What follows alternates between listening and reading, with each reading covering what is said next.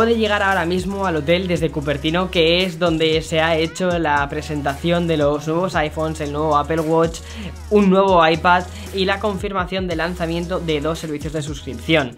Bien, empiezo por ahí. Esto que tengo aquí es el Apple Park y esto a mi espalda es el Steve Jobs Theater y es el lugar elegido para presentar los nuevos iPhones ya sabíamos que se iba a lanzar Apple Arcade, ese servicio de suscripción de videojuegos para el ecosistema Apple. Pero han confirmado el precio, que van a ser 4,99 euros para la suscripción familiar y también el día en el que se va a lanzar, que va a ser el 19 de este mismo mes. Bien, algunos de estos juegos han sido desarrollados específicamente para este servicio. Los que se han presentado en el escenario personalmente no me han llamado tanto la atención, pero después he visto, por ejemplo, que también van a lanzar un juego de Lego y que también van a lanzar un juego de Rayman, y eso ya tiene mucha mejor pinta. El segundo servicio de suscripción que ya habían anunciado hace unos meses es Apple TV Plus, es decir, el servicio de suscripción de series de Apple. Se lanzará el 1 de noviembre y costará también 4,99 euros para toda la familia. Y bien, lo que me ha parecido muy inteligente es que si te compras un nuevo producto de Apple, ya sea un iPhone, un iPad o un Mac, tienes la suscripción de un año entero a Apple TV Plus.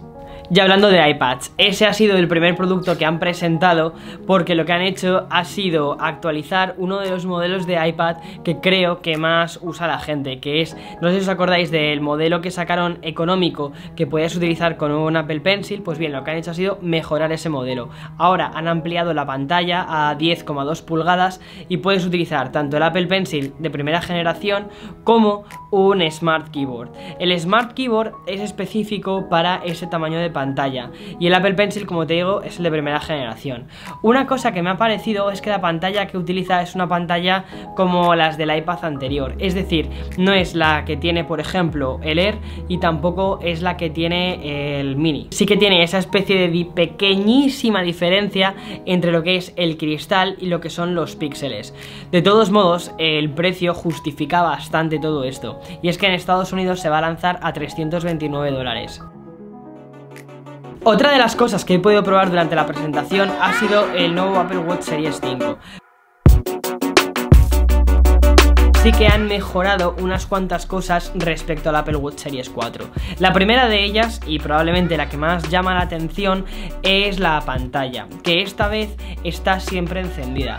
Pero esta pantalla siempre encendida la han hecho de una forma un poco diferente, adaptando las esferas que ya existen. Por ejemplo, no vas a tener la esfera, en mi caso, esta de color blanco, constantemente encendida. No, lo que hace es pasa el color blanco a negro y el color negro a blanco. Entonces, tenemos, por ejemplo, las complicaciones las tenemos visibles, la hora la tendríamos siempre visible, pero esos colores que sean más luminosos, esos no, esos serán reemplazados por negro. Y cuando giremos la muñeca como hacemos habitualmente para ver la hora, cambiarán los colores y entonces es cuando tendremos nuestra esfera tal y como la hemos elegido.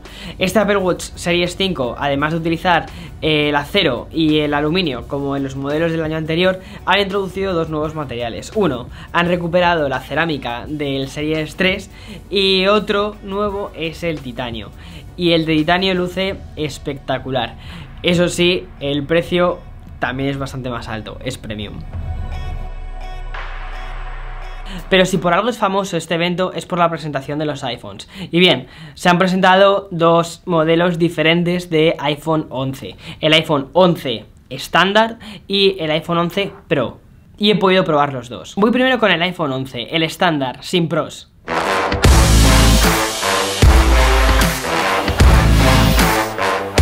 Este es la evolución natural del iPhone 10R y lo que han hecho ha sido mejorar unos cuantos aspectos del iPhone 10R.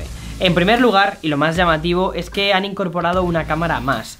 Y esto va a tener implicaciones en varias cosas. Otra cosa que han hecho ha sido mejorar el procesador, que hemos pasado del A12 a un A13.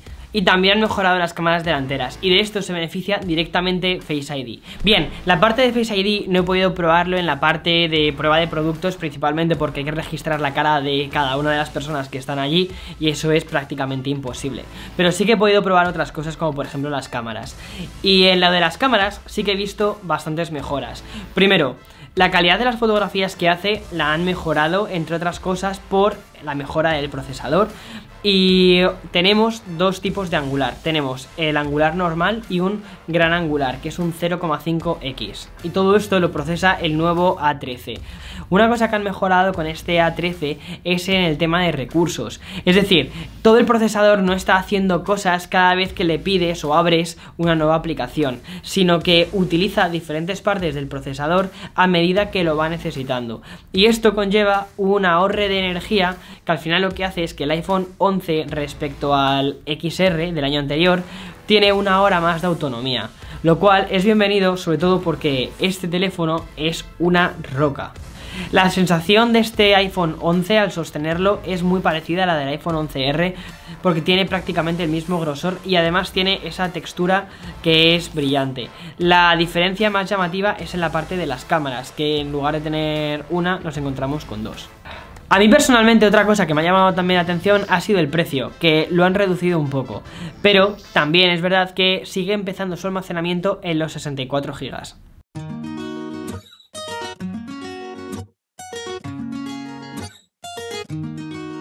Pero probablemente el iPhone que llama más la atención es el iPhone 11 Pro. Y bien, nos lo encontramos en dos tamaños diferentes, en el tamaño de 5,8 pulgadas y en el tamaño de 6,5 pulgadas, que en este caso es el iPhone 11 Pro Max.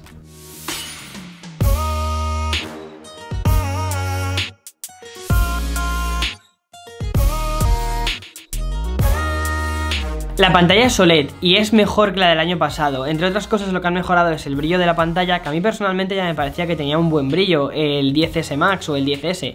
Este año han decidido ir un poquito más allá con el tema del brillo y se ve muy bien. Por ejemplo, en la zona de pruebas había muchísima, muchísima luz y la pantalla se veía realmente bien. También nos encontramos con el mismo procesador A13 que tienen los iPhones 11 y aún más llamativo, que es la parte trasera, que es una lámina de cristal que ha sido en la parte de las cámaras tallada para incorporar las cámaras, pero solo es una pieza, no son dos piezas diferentes de cristal, es una. Y eso, la verdad es que le da un toque bastante bonito. Este de aquí es el iPhone 11 Pro Max, el que tiene la pantalla grande.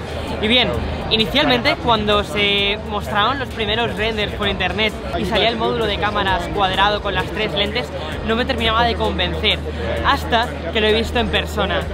Y es curioso lo que han hecho porque en la misma capa de cristal han utilizado un color mate para el cuerpo del teléfono y para la parte de la cámara es un cristal brillante. Y crea esa sensación que hace que cuando lo ves en persona sea muy bonito.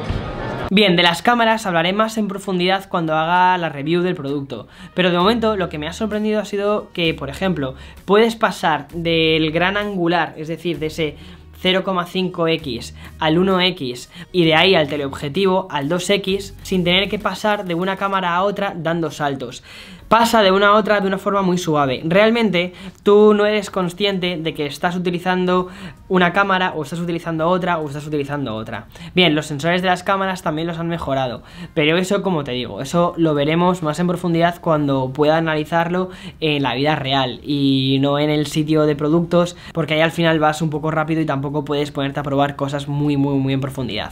Ahora bien, una de las grandes novedades del iPhone 11 Pro es que el tamaño de 5,8 pulgadas, el que sustituye al iPhone 10S, han mejorado la autonomía en 4 horas. Y en el caso del tamaño grande, el Max, lo han mejorado respecto a su modelo Max 5 horas. Bien, esto es muchísimo. Y lo han hecho haciendo dos cosas principalmente. La primera, mejorando el rendimiento del procesador y haciendo que el procesador no consuma tantísima energía. Y la segunda, una cosa que no me esperaba que hiciese Apple. Y es que ha hecho el teléfono más grueso. Este iPhone 11 Pro es un poquito más grueso que el iPhone 10S. Y bien, ese aumento de grosor, entre otras cosas, ha servido para meter una batería de mayor capacidad. Así que, oye, Perfecto. También ese aumento de grosor ha servido para que no haya tanta diferencia entre lo que es la parte de atrás del teléfono con la parte de las cámaras y que sea todo mucho más lisito. En definitiva me han parecido pasos bastante lógicos. Quizás no hay tantos cambios en la parte exterior del dispositivo, pero sí que hay más cambios en la parte interna, ya no solo en el procesador, baterías, sino también en el propio procesado de imágenes y sobre todo en el apartado de vídeo. Pero como te digo, eso lo tendré que analizar más en profundidad más adelante cuando pueda probar los dispositivos en un entorno no controlado, es decir, en un sitio que no sea en un sitio cerrado con con una iluminación y cosas de este tipo. Pero bueno, así que mantente alerta para todos esos siguientes vídeos que vendrán. Nos vemos en siguientes y espero que te haya gustado. ¡Hasta otra!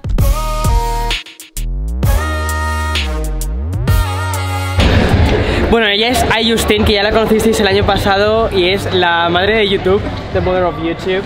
I said last yes, year. that's right. I did say that. Yeah, that's right. That's it was, awesome. It was feature. It was like a feature in the video. Yeah, that's funny, though. Oh Yeah. my gosh. Well, happy 2019. Yes. iPhone season is here. So excited. Yeah, it is.